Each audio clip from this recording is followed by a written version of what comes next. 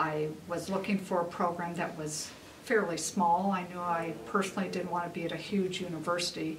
I just felt I could do more good with students at a smaller institution. So this is my 28th year, so I, I love it. Every day that I still come, I can honestly say I love it, and I there's a lot of reasons.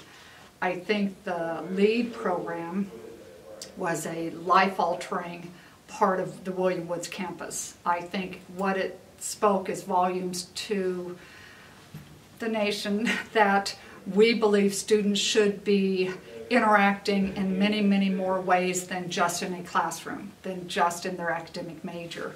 And I think that's very important these days.